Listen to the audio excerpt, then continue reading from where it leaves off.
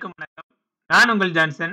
இன்னைக்கு நம்ம என்ன தகவல் பார்க்க இருக்கிறோம்னா, ஒரு கிராம ஊராட்சியில தொடக்கப்பள்ளி புதுசா தொடங்கணும்னா, என்னென்ன விதிமுறைகள், ஆர்டிஏல அது குறித்து கேட்டதற்கு என்ன மாதிரி பதில்கள் கொடுத்துருக்காங்க அது குறித்த விரிவான தகவலை இந்த காணொளியில பார்க்க இருக்கிறோம். அதுக்கு முன்னாடி என்னோட சேனல சின்ன இன்ட்ரோ கொடுத்துருந்தேன் என்னோட சேனலில் நீங்க பிளேலிஸ்ட்டில் போனீங்கன்னா, எல்லா வீடியோக்களும் தனித்தனி தொகுப்புகளாக உள்ளது.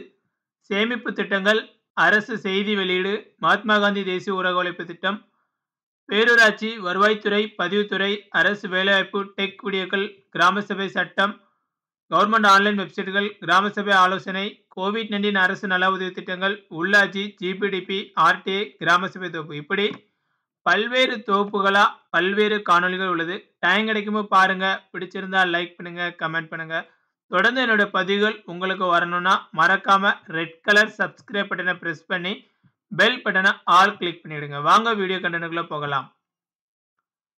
கிராம ஊராட்சியில் தொடக்கப்பள்ளிகள் வந்து மக்கள் தொகை நிறைய இருக்கும் பட்சத்தில் நீங்கள் அந்த பகுதியில் கேட்கலாம். அதுக்கு அரசு என்ன பதில்கள் கொடுத்துருக்காங்க ஆர்டிஐயில் கேட்கும்போது, அது குறித்து பார்க்க இருக்கிறோம். ஒரு கிராமத்தில் புதியதாக அரசு ஊராட்சி ஒன்றிய தொடக்கப்பள்ளி அமைய வேண்டுமென்றால், அதற்காக நடைமுறையில் உள்ள விதிமுறைகள், அலுவலக கோப்புகள், குறிப்புகள், அரசாணை நகல், சுற்றறிக்கை நகல், ஆவணங்கள் ஆகியவற்றின் தகவல் மற்றும் ஒலி நகல் வழங்கும்னு சொல்லி கேட்டிருந்தோம். அதுக்கு அவங்க என்ன பதில் கொடுத்துருக்காங்கன்னா ஒன்று மக்கள் தொகை 300க்கும் மேல் இருக்க வேண்டும். 2 1 கிலோமீட்டர் எல்லைக்குள் எந்த தொடக்கப்பள்ளியும் இருக்கக்கூடாது. 2 3 பள்ளி வயது குழந்தைகள் 20க்கு மேல் இருக்க வேண்டும். ஒரு ஸ்கூலில் இருபது பேர் அந்த தொடக்கப்பள்ளியில் சேர்றதுக்கு பிள்ளைங்க இருக்கிறாங்க பட்சத்தில் கண்டிப்பாக இதை மூவ் பண்ணலாம். ஆனால் ஒன் கிலோமீட்டருக்கு அந்த சரௌண்டிங்கில் வேறு ஸ்கூல் எதுவும் இருக்கக்கூடாது. மக்கள் தொகையும் முன்னூறுக்கு மேலே கண்டிப்பாக இருக்கணும். ஒரு கிராமத்தில் புதியதாக அரசு ஊராட்சி ஒன்றிய தொடக்கப்பள்ளி அமைய வேண்டுமென்றால், அதற்காக தேவைப்படும் நிலம் மற்றும் சுற்றுச்சூழல் அமைப்புகள் மற்றும் அதற்காக கிராம மக்கள் செய்ய வேண்டிய கடமைகள் மற்றும் விதிமுறைகள், தகவல் மற்றும் ஒளிநகல் வழங்கும் சொல்லி கேட்டிருந்து. இரண்டாவது கேள்விக்கு அவங்க என்ன பதில் கொடுத்துருக்காங்கன்னா பள்ளி கட்டிடம் கட்ட இடம் ஊர் பொதுமக்கள் வழங்க வேண்டும். புறம்போக்கு நிலம் இருக்க வட்டாட்சியர் அனுமதி வழங்க வேண்டும். மாணவர்களுக்கு பாதுகாப்பான இடம் இருக்க வேண்டும்.